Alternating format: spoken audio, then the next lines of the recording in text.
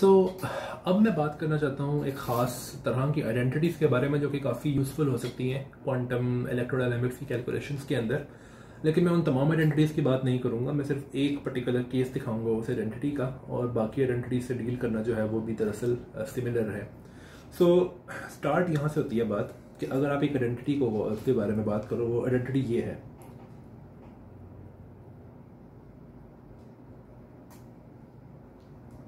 सो ये सारा कुछ जो है ये इक्वल है two times epsilon alpha gamma epsilon beta delta अब ये आइडेंटिटी कहाँ से आ गई? वेल well, ये आइडेंटिटी जो है ये इसको आपको यू नो वेरीफाई करना पड़ेगा केस बाय केस सो आपको अल्फ़ा बीटा गैमा और डेल्टा की अलग अलग वैल्यूज़ रख के देखना पड़ेगा कि ये आइडेंटिटी सही है या नहीं. तो मैं एक केस कर देता हूँ बाकी केस आप किस का वेरीफाई कर सकते हो। सो लेट सपोज़ कि अल्फ़ा जो है वो वन है बीटा टू है गैमा जो है वो टू है और डेल्टा जो है वो वन है। सो so, फिर ये बनता है one two sorry two one right अब इसको अगर मैं एक्सपेंड करूँ तो आप देख सकते हो कि इस पे समेशन है म्यू के ऊपर। तो इसमें जो डिफरेंट केसेस हैं म्यू के मैं उनके ऊपर सम करता हूँ।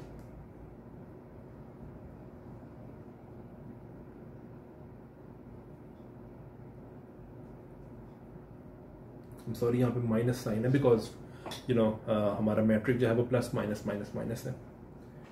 Minus two one two two one और माइनस थ्री वन टू और थ्री टू वन अब अगर हमको याद ना हो जो कि काफ़ी लाइकली है, क्योंकि आई एम श्योर आपको याद होगा कि इन मैट्रिसेस के जो फॉर्म्स हैं वो क्या हैं?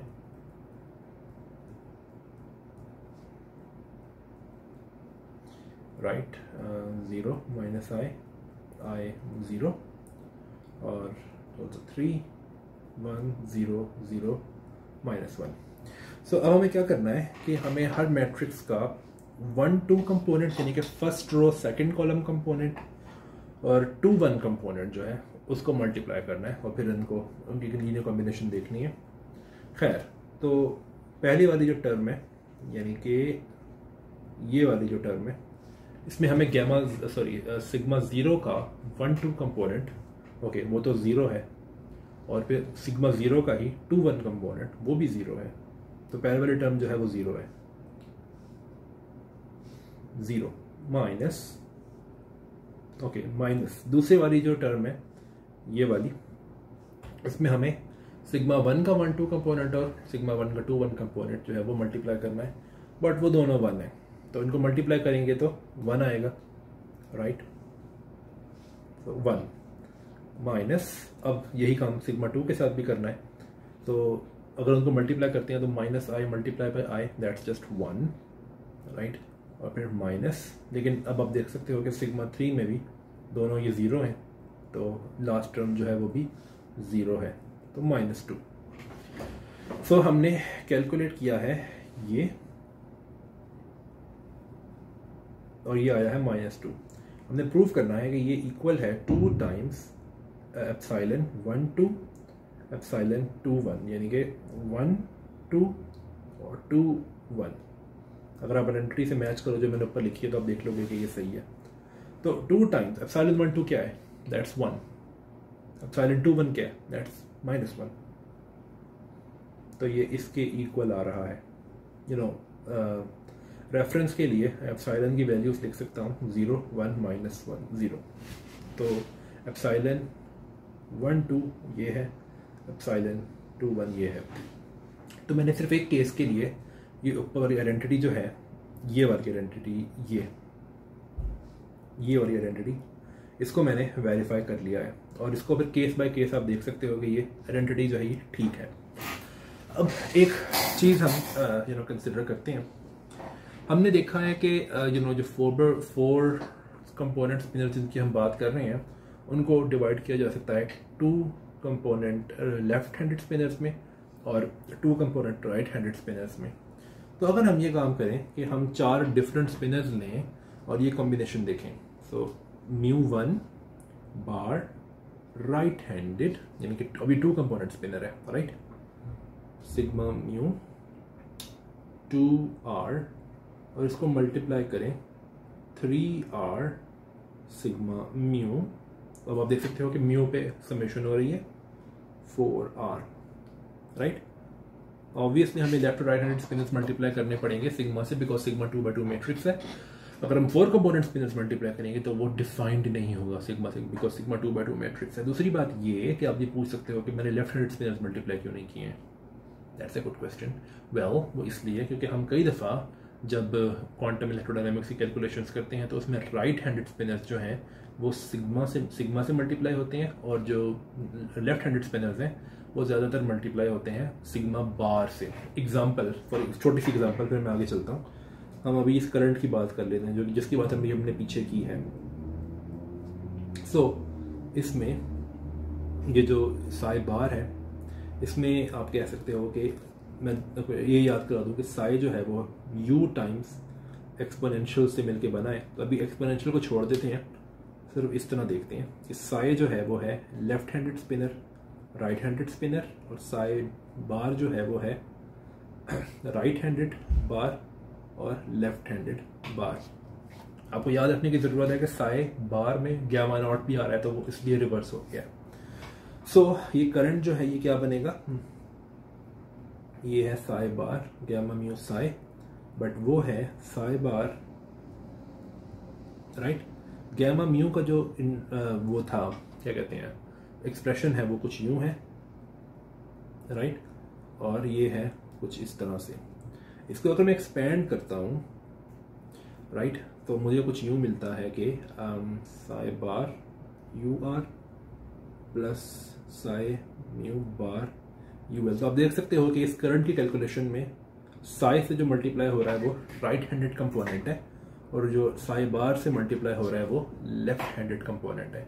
तो इसलिए मैं यू नो ऊपर जो मैंने प्रोडक्ट बनाया था उसमें मैंने you know right handed component की बात की थी ना कि लेफ़्ट हैंडेड कंपोनेंट की बिकॉज़ लेफ़्ट हैंडेड कंपोनेंट जो है वो ज़्यादातर साई से साई से मल्टीप्लाई होता नहीं है। सॉरी uh, मैं साई कह रहा हूँ काफ़ी देर से सिग्मा सिग्मा से मल्टीप्लाई होता नहीं है। सॉरी तो सिग्मा से मल्टीप्लाई नहीं होता है सिग्मा बार से ज़्यादातर मल्टीप्लाई होता है left handed component okay so अब इसको हम लिख सकते हैं कंपोनेंट फॉर्म के अंदर कैसे? इस तरह से कि इस पहले पहले वाले पहले वाले प्रोडक्ट का मतलब ये है कि मैंने एक कंपोनेंट जो है कंपोनेंट को मैं कैपिटल यू नो अल्फ़ाबेट से रिप्रेजेंट करूँगा ताकि कंफ्यूजन ना हो। बल्कि इसको ग्रीक से कर लेते हैं okay alpha beta alpha beta वगैरह से right so alpha beta sorry alpha beta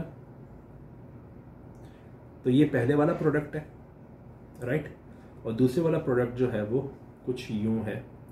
अब मैं यूज़ कर लेता हूँ गैमा डेल्टा राइट तो ये दूसरा प्रोडक्ट है। अब हम जानते हैं कि इन दोनों को अगर मैं मल्टीप्लाई करूँ तो मेरे पास आता है two times epsilon alpha gamma beta delta और बाकी चीज़ें जो हैं वो मैं लिख देता हूँ। ये म्यू यू टू आर भी है। राइट अब हमें पता है कि एप्साइलन जो है वो एंटीसीमेट्रिक है। तो एक काम करते हैं, इसको हम यूँ लिख लेते हैं माइनस टू गैमा अल्फ़ा हमें पता है कि गैमा और अल्फ़ा को मैं एक्सचेंज करूँगा माइनस साइन आएगा। और दूसरे वाले को कुछ भी नहीं करता। राइट और बाकी सारा ये ऐसे ही लिखते हैं नीचे की तरफ़। लेकिन अब आप ये देखो कि इसको, जो ये चीज़ है, इसको मैं लिख सकता हूँ कुछ इस तरह। Minus gamma sorry minus two ख़त्म हो जाएगा। तो ये hmm, इस तरह multiplied by this thing right gamma alpha या सिर्फ़ आइडेंटिटी को यूज़ करके. और बाकी जो ऊपर वाला था वो ऐसे ही आएगा सारे का सारा. Right right? ये वाला जो था सारे का सारा. अब आप देखो गौर से कि अल्फ़ा जो है वो यहाँ पे है और इसके साथ है डेल्टा डेल्टा जो है वो ये है. तो जब मैं इसको मल्टीप्लाई करूँगा वापस तो माइनस साइन तो खैर रहेगा। तो हो क्या रहा है? मैं दोबारा लिखता हूँ रेड कलर से, कि ये जो है, ये मल्टीप्लाई अल्फ़ा किससे हुआ है? इससे। और इसके साथ डेल्टा है, लेकिन डेल्टा यहाँ पे मल्टीप्लाई होगा। और मल्टीप्लाइड बाय अब दूसरा है बीटा सॉरी गैमा गैमा वो गैमा इससे मल्टीप्लाई वाली लेकिन इसके साथ बीटा है। और बीटा जो है वो यहाँ पे है। तो इस तरह से।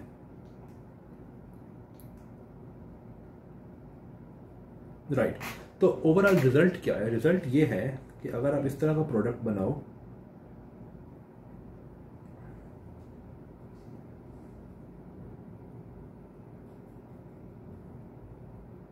तो ये इक्वल है माइनस के और सिर्फ़ आप क्या करो कि फोर और टू को आपस में एक्सचेंज कर दो।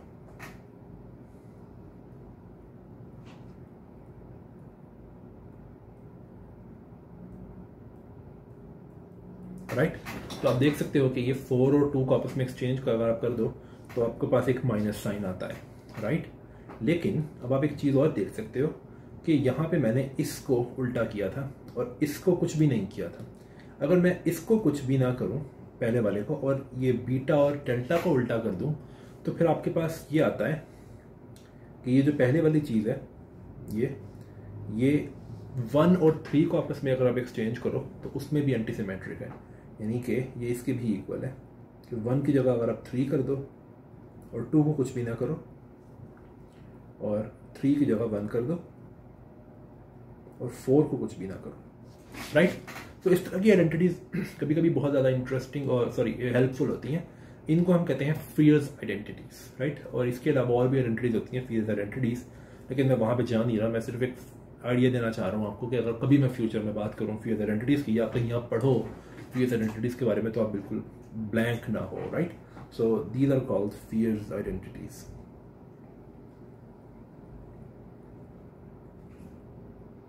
तो ये कभी कभी यू नो बड़े बड़े एक्सप्रेशन को छोटा करने के भी काम आ जाती हैं। राइट? इसके अलावा और भी आइडेंटिटीज़ हैं। फॉर एग्जांपल अगर आप जानना चाहते हो तो आप पेस्किन शोल्डर में देख सकते हो। एक और आइडेंटिटी है।